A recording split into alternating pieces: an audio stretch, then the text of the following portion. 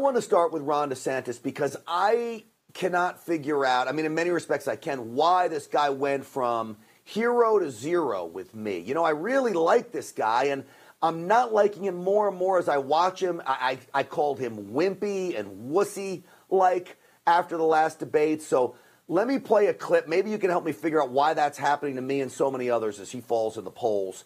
Um, this is him with his weird I think smiles. I can. Yeah.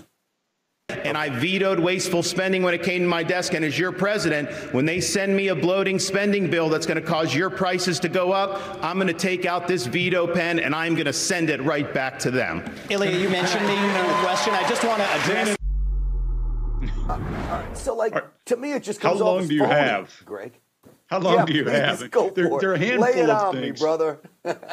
so there are a handful of things. First of all, resting face matters. How a person intakes data matters. When I do our show, I sit stone faced, and people think I have no emotion. I have emotion. I'm just listening to you. He doesn't. He has that weird smile in his resting face. Look at that head bobbing thing he does.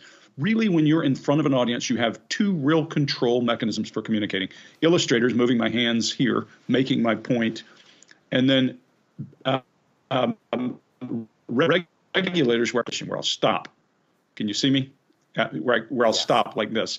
So what he's doing is poor job of, of illustrating, and he's using his head to do it, and he's blinking his eyes. That looks weak and out of control. He needs some coaching badly. Did he always do this, or is it just on the debate stage? Because, you know, I watched him after the debate on with Sean Hannity, and I was like, man, he was better here in this interview than he was on the debate stage. I think he's just poorly prepared for what he needs to do on stage. And if he could learn to use his hands more effectively, raise his hands up to where what one of my partners, Mark Bowden, calls a truth plane, where you're up in here, not way down below the table, it sends a clearer message for the person. And do away with that goofy smile. Go to a flat face. All right, let me, it's a goofy smile too. I mean, I let could go play, on, but yeah. uh, let me play uh, him using this is this is cut three, guys, uh, where he's using these minimal hand gestures again. Another one of him.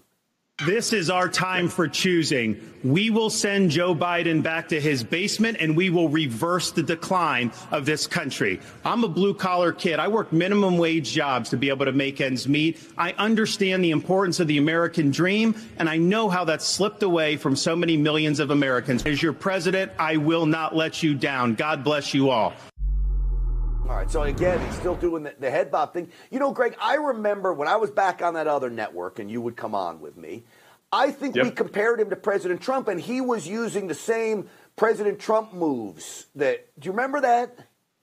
Oh yeah, for sure. He he mimicked President Trump, and he looked stronger when he did. Look, look. Uh, President Trump has unique body language. He also has. I mean, Trump has his own thing, and he's got some things that you might consider goofy, but they're strong goofy versus weak goofy. So what he's doing here, when he's not raising his hand to make a point, when he doesn't raise a finger to make a point, compare him to to Vivek, who's all over the board with his hands. He makes a clearer message. And the strongest player on the stage that night, in terms of good illustrators, is Tim Scott because he's always dead on. He's always where you can see him. His hands are up above the table. Look at that. I mean, that's powerful, strong body language.